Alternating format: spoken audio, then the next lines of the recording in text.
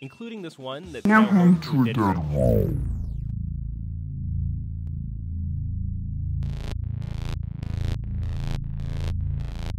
Foolish mortals, look now and hear, as I now ignite your souls with fear. There's no escape for you this night, since you have made the mistake of looking into my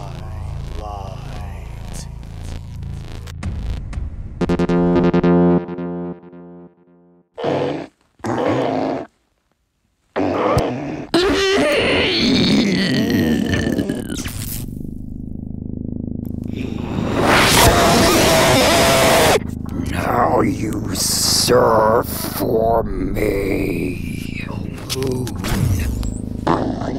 Oh, look, we got ourselves another friend to go with me.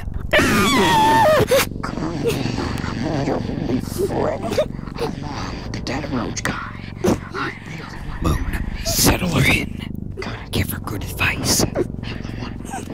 People you sent into the black void forever. Just me, the dead roach, boob light, and the moon. Why are you gonna want to hear for a response like this?